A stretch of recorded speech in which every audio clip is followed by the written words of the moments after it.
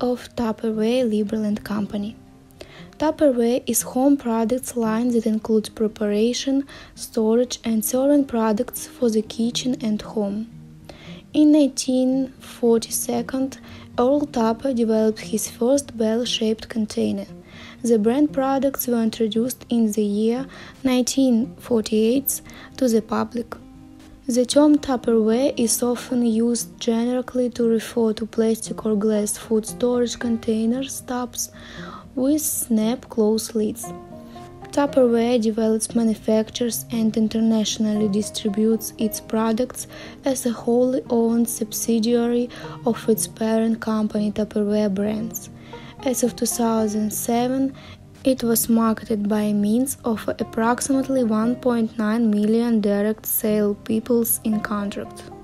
In 2013, the top marketplace of Tupperware was Indonesia, which topped Germany as the second.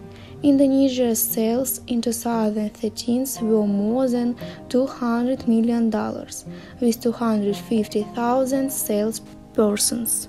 Company history Tupperware was developed in 1936 by Earl Silas Tupper in Leominster, Massachusetts.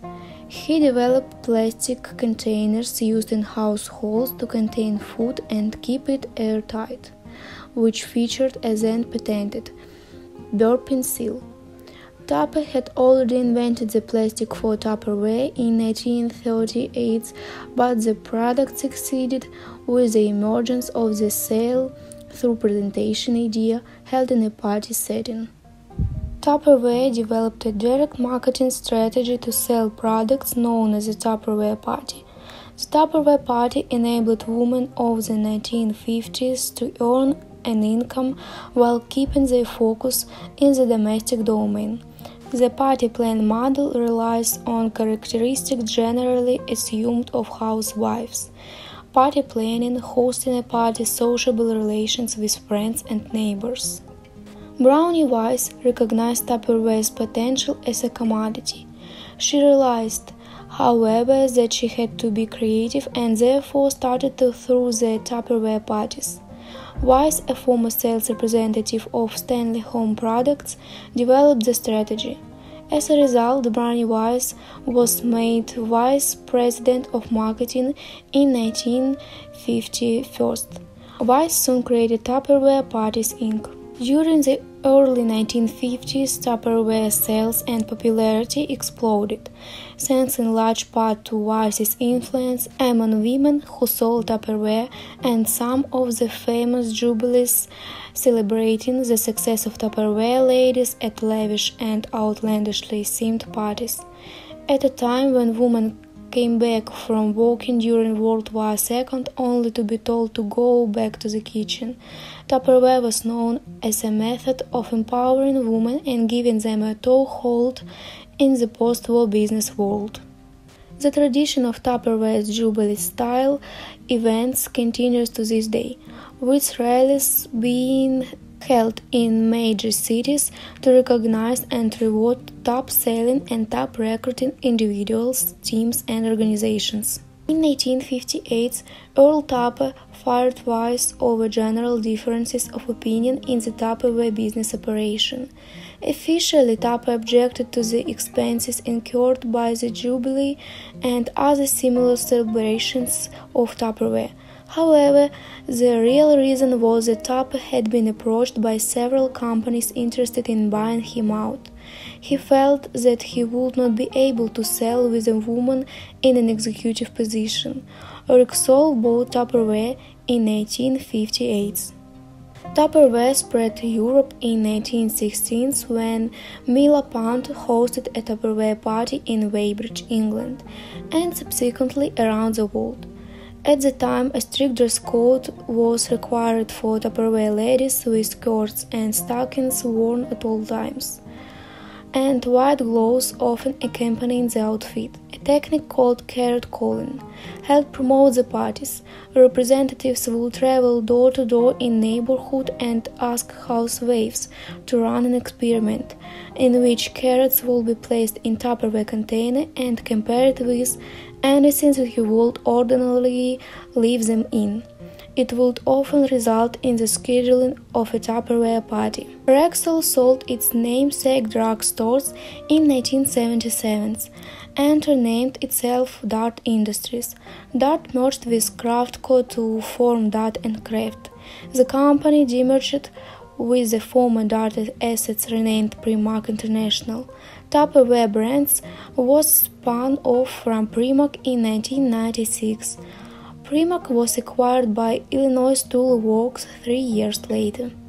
In 2003, Tupperware closed down operations in the UK and Ireland, citing customer dissatisfaction with their direct sales model. There has been limited importer distribution since then. The company announced a formal relaunch in the UK in mid 2011 and recruited UK staff, but in December the relaunch was cancelled. In May 2011, the Israeli daily Marker reported that Tupperware will withdraw from Israel, leaving 2,000 agents without a job. The article attributed this decision to the regional headquarters, which manage other Middle Eastern countries. Tupperware is now sold in almost 100 countries, after peaking at more than 100 after 1996. Tupperware parties. Tupperware still sold mostly through a party plan, with rewards for hosts and hostesses a Tupperware party is run by a Tupperware consultant for a host or hostess who invites friends and neighbors into their home to see the product line. Tupperware hosts and hostesses are rewarded with free products based on the level of sales made at their party. Parties also take place in workplaces, school, and other community groups. To stay in touch with its sales force, Tupperware published the monthly magazine Tupperware Sparks. The magazine had snapshots of saleswomen posing with awards and recognitions for high sales. To avoid spending money on advertising, Tupperware created events that attracted free publicity. In most countries, Tupperware sales force is organized in a tiered structure with consultants at the bottom, managers and star managers over them, and next various levels of directors with legacy executive directors at the top level. In recent years, Tupperware has eliminated distributorships in the US. The multi level marketing strategy adopted by Tupperware has been criticized as manipulative.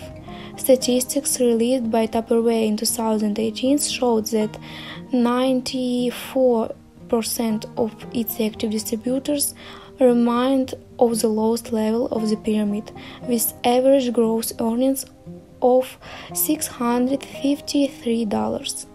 In recent years, Tupperware in North America has moved to a new business model which includes more emphasis on direct marketing channels and eliminated its dependency on authorized distributorships. This transition included selling through Target stores in the US and superstores in Canada with disappointing results. Tupperware states these hard direct sales.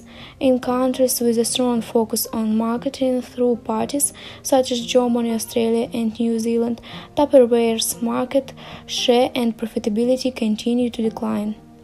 In many countries, Tupperware products have a lifetime guarantee. The company is best known for its plastic bowls and storage containers. In recent years, it has expanded into stainless steel cookware, cutlery, chef's knives, and other kitchen gadgets. After experiencing a slump in sales and public image in the mid 1990s, the company created several new product lines to attract a younger market.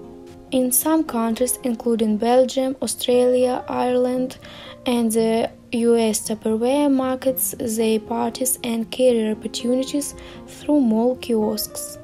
In China, Tupperware products are sold through franchised entrepreneurial shop fronts, of which there were 1,900 in 2005 due to pyramid selling laws enacted in 1998. Tupperware Liberland In 2021, Tupperware Company entered Liberland thanks to Ukraine Liberland Chamber of Commerce, and many of Liberlanders are getting products of Tupperware.